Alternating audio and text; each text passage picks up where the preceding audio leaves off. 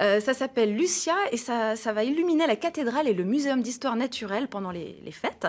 Donc c'est du mapping, un spectacle de projection qui met euh, en scène des tableaux d'Alain Thomas, un peintre naïf euh, nantais. Alors Lucia, c'est tous les soirs du 20 décembre au 28, sauf le 24. Là, ils font une petite, une petite pause et c'est bien normal.